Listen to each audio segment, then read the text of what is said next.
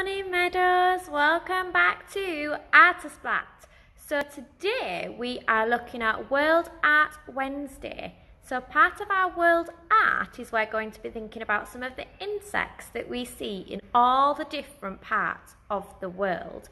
So if you keep watching, you will have a see what I have chosen to draw for my World Art Wednesday. So have a look and see if you can guess what insect it might be. Happy creating!